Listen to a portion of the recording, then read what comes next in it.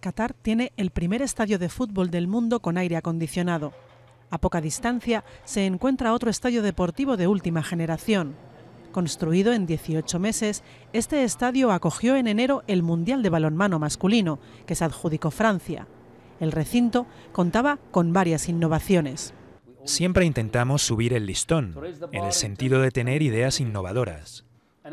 Estoy seguro de que toda la tecnología que se use en Qatar, después de un tiempo o quizá en el próximo evento, verás que se convierte en algo normal. Nuevos estadios, un metro, autopistas e incluso una nueva ciudad están en construcción en mitad del desierto. Según los informes, Qatar gastará 200.000 millones de dólares para albergar el Mundial de Fútbol en 2022. Pese a las acusaciones de corrupción en su victoria para albergar el Mundial y de abusos de trabajadores inmigrantes encargados de construir la infraestructura del torneo, las críticas no parecen disminuir el apetito catarí por organizar eventos deportivos internacionales.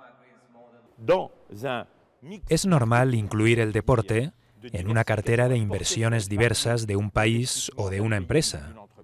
Todo porque es un maravilloso instrumento de progreso social y desarrollo económico. Ciudades enteras se han transformado gracias al hecho de que han albergado actividades o grandes manifestaciones deportivas. El mercado en la organización de eventos deportivos a gran escala atrae a empresarios de todo el mundo. Creo realmente que es una tierra muy prometedora,